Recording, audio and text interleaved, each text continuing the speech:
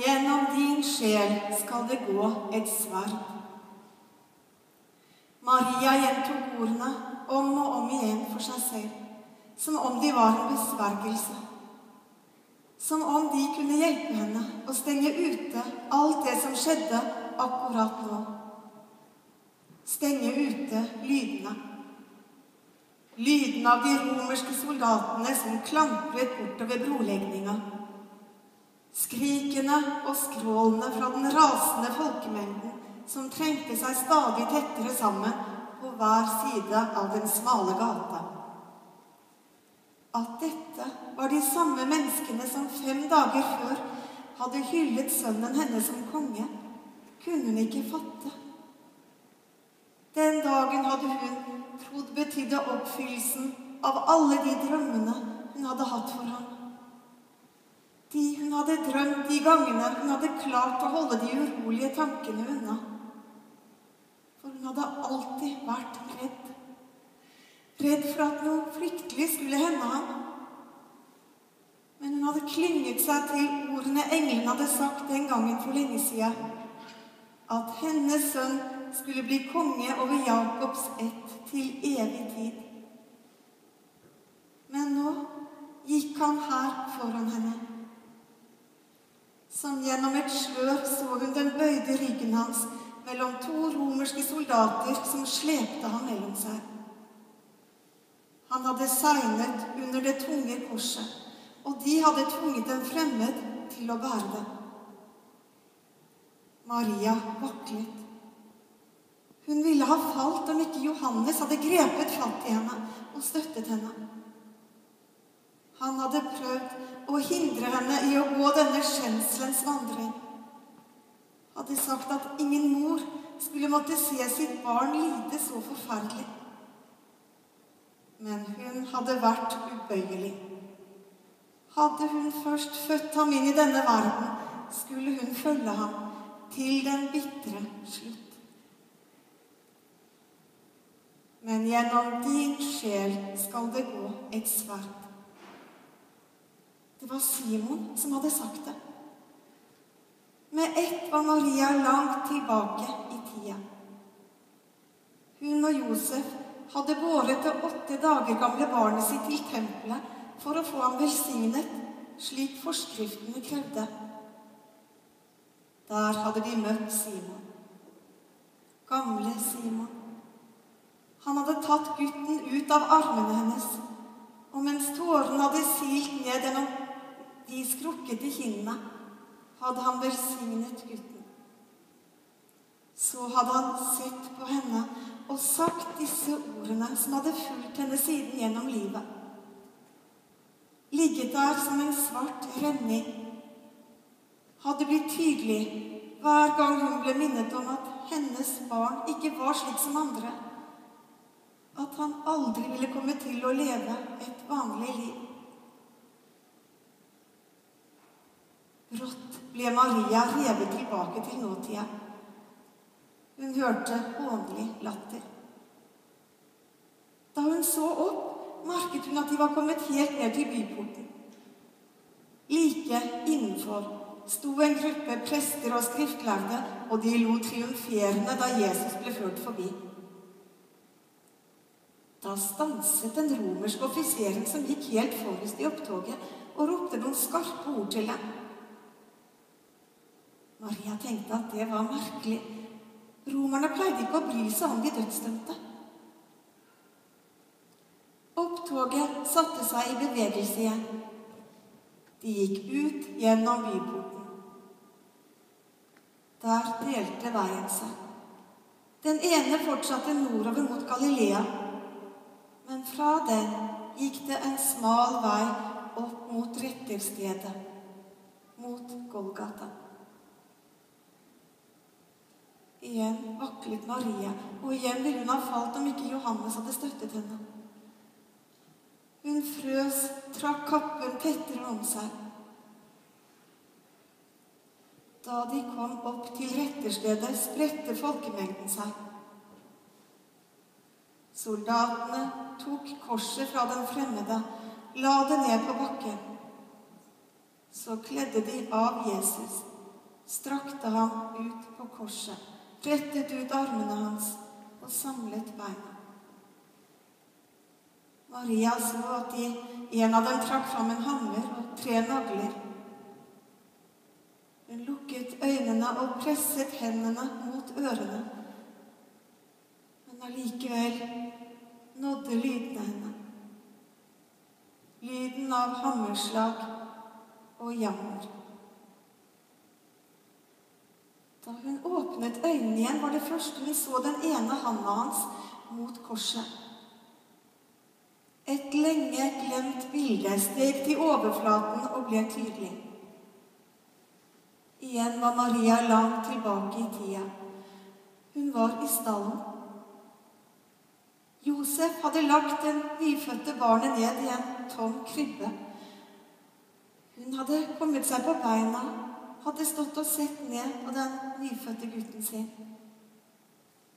Han hadde sovnet. I søvne fektet han med de små armene. Så la den ene handa seg til hvile mot krybbekanten. Og det var noe med synet, den sårbare barnehånden mot det grove treverket. Maria hadde kjent angsten skjære gjennom seg som et sverd. Hadde måttet lene seg mot en tom bås. Hun hadde ikke skjønt hva som gikk av henne. Ikke da. Igjen ble hun revet tilbake til nåtida. Igjen var det hånlig latter hun hørte. Soldatene holdt på å fordele klærne til Jesus mellom seg slik de hadde rett til. En av dem snudde og vendte foraktelig på de slitte klesplaggene. Men plutselig mumlet han forundret. Han holdt opp Jesu kappe det var et vakkert plagg. Vevet i et helt stykke, uten sømmer. Maria tenkte at hun også hadde vært forundret over at han hadde skaffet seg dette klesplagget. Han som alltid ellers valgte det mest fattigslige og slitte. Som hadde gitt avkall på det trygge utkommet fra snekkerverkstedet og gitt seg på vandring som en annen landstryker. Men denne kappen hadde han villet ha. Soldatene kastet terning om den, og han som fikk den, brettet den sammen nesten med ærefrykt. Nå bandt soldatene tau rundt endene på korset, heiste det opp, festet det i bakken. Der hang han, hennes sønn. De hadde presset en tornekrone ned over panna hans. Den hadde rispet ham opp og etterlatt seg strimer av størknet blod. Øynene var svarte, blikket vendt innover, som om han allerede hadde tatt avskjed fra denne verden. En av soldatene dypte en svamp i en blanding av vin og galle og rakte opp mot ham. Dette var det eneste tegn på barmhjertighet romerne viste de dødsdømte. For i den drikken var det bedøvelse. Men Jesus vendte hodet Nå oppdaget Maria at det var hengt en plakat over hodet hans. Hun gikk nærmere og leste 'Jesus fra Nasaret, jødenes konge'. Det var merkelig. Hvem kunne ha skrevet noe sånt? Prestene og de skriftlærde var rasende. 'Dette er Pilatus' verk', sa de. 'Dette finner vi oss ikke i.' De ble enige om å sende en av de yngste prestene for å klage. Det var begynt å mørkne. Og det var jo rart, siden det allerede ikke var mer enn sjette time. Maria så opp mot himmelen og så en skygge som hadde begynt å bre seg over solen. Andre hadde også merket det. Folk var redde, og en mann ropte da var det kanskje sant allikevel at Jesus var Guds sønn? At det var Gud som ga dem et tegn? Men prestene fikk raskt hysjet dem ned. Nå begynte folk å håne og spotte Jesus. Andre har han frelst, men seg selv kan han ikke frelse, var det en som sa. Og en annen, du som sier at du er Guds sønn, la oss få se nå at Gud kommer ned og hjelper sønnen sin. Slik holdt de på. Men Jesus svarte ikke et ord. Langt om lenge kom den unge presten tilbake. Han kunne fortelle at Pilatus var ubøyelig. Det som sto skrevet, det skulle stå. Det var ingenting de kunne gjøre med det. Det var ikke bare Jesus som ble korsfestet denne dagen. Snart kom nye soldater slepende med to dødsdømte, forbrytere og ildgjerningsmenn. Den ene ble korsfestet på Jesu høyre side, den andre på den venstre. Da han som hang på den venstre, hørte hvordan folk hånet Jesus, begynte han også. Du som er så sterk, du kan vel stige ned fra korset og frelse både deg og oss? Men den andre, som hang på den høyre side, han sa at du ikke skammer deg. Vi får bare igjen for det vi har gjort, men han er uskyldig. Han så på Jesus og sa, 'Herre, tenk på meg når du kommer i ditt rike.' Maria så at det ga et sett i Jesus. Blikket hans ble igjen nærværende og fylt med den autoriteten som var så særegen for ham. Sannelig, sa Jesus, i dag skal du være med meg i paradis. Røveren svarte ikke, men håpet lyste i øynene hans. Maria hadde mistet alle begreper om tid. Det var som å være dypt inne i en tåke, uten begynnelse og uten slutt. Igjen så hun opp på Jesus. Da så hun at han strevde med å puste. Han prøvde å heise seg opp etter armene for å få mer luft. Og selv begynte hun å streve med pusten, som det at hun fylte sine lunger, kunne hjelpe ham.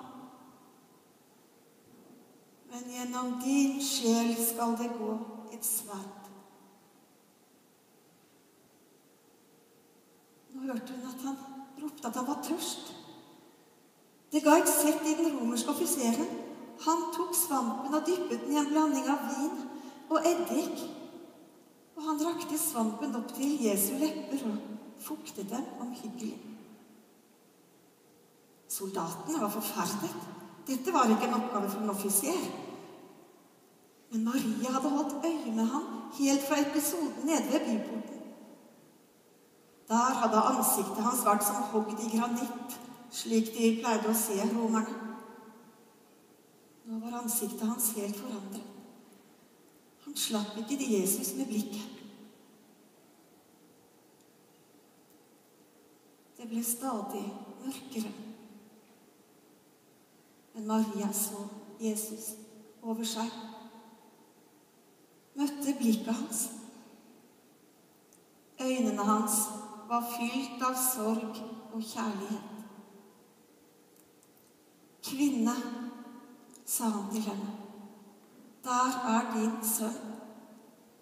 Han så ned på Johannes som sto ved siden av Maria, og til ham sa han, Der er din mor. Kvinne. At han kunne bruke det ordet om henne. Det hadde alltid vært Marias store sorg at hun ikke fikk være mor for ham slik andre var for sine barn.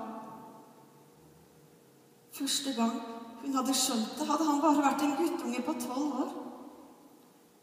Hun og Josef hadde tatt ham med til Jerusalem, til tempelet, for å feire påske.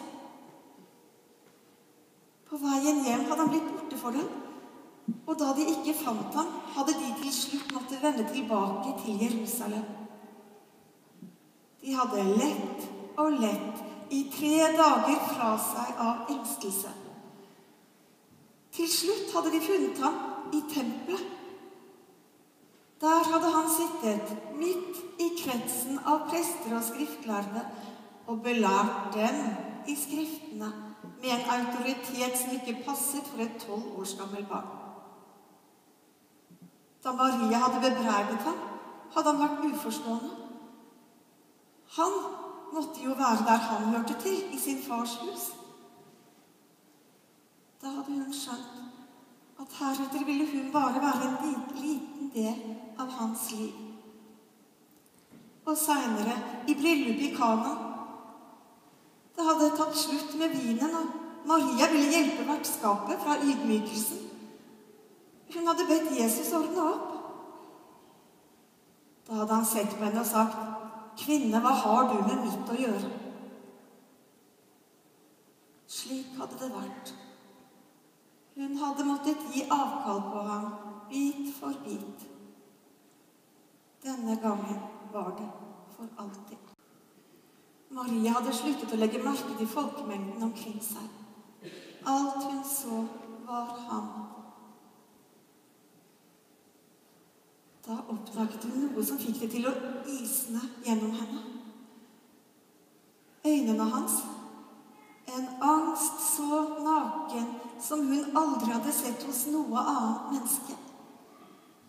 Og hva var det han ropte? At Gud hadde forlatt ham. Maria seg sammen under korset. Dette kunne hun ikke bære. Hun visste jo hvor han hadde fått autoriteten sin fra. Hvor han hadde hentet styrken sin gjennom alle disse årene hadde vært så forferdelig ensom. Det hadde hun sett. Midt i ringen av venner og tilhengere hadde det vært som en sirkel rundt ham som ingen kunne tråkke innenfor, heller ikke hun. Men ankerfestet hans hadde vært at Gud var hans far, som aldri vek fra hans side. Hadde han mistet også det.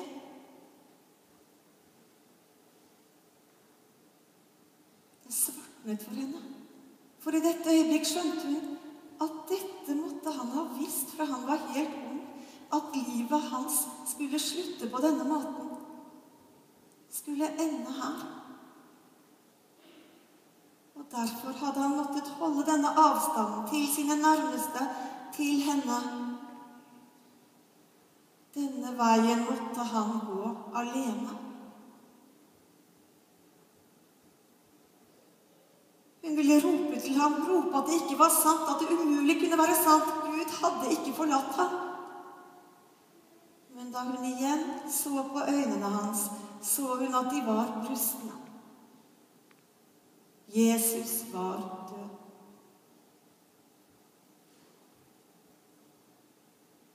I det samme ble det helt mørkt. Det lød et brak, jorda skalv, og klippene slo sprekker. Maria hørte offiseren rope at da var det sant. Jesus var Guds sønn. Johannes bøyde seg over henne og sa at nå var det over. De kunne gå hjem. Maria så uforstående på ham. Over? Det var ikke over. Det ville aldri bli over. Og hun ville ikke rikke seg før de hadde tatt ham ned fra korset, lagt ham i graven så han endelig kunne få fred. Hun ble sittende. Etter en stund kom det en mann løpende fra Jerusalem han kunne fortelle at hele byen sto på ende. Noe helt uforklarlig hadde skjedd. Forhenget i tempelet, som skilte mellom det hellige og det aller helligste, hadde revnet fra øverst til nederst. Maria hørte det, men det trengte ikke inn.